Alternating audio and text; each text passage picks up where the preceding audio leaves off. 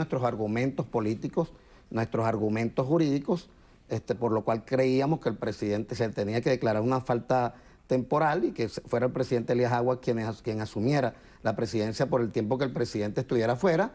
Este, pero por supuesto, más allá de esta circunstancia, este, nosotros por supuesto le deseamos al presidente su pronta recuperación. Yo creo que es sano para la economía del país, es sano para la estabilidad de, eh, política de Venezuela. Pero lo cierto es que más allá de esta circunstancia, el país vive problemas muy graves y hay la sensación de ingobernabilidad hay la sensación de que no, no se está gobernando en el país y que los problemas se siguen agravando, como es el tema eléctrico, que es uno de los que más está agobiando, azotando a la gente en, en Venezuela.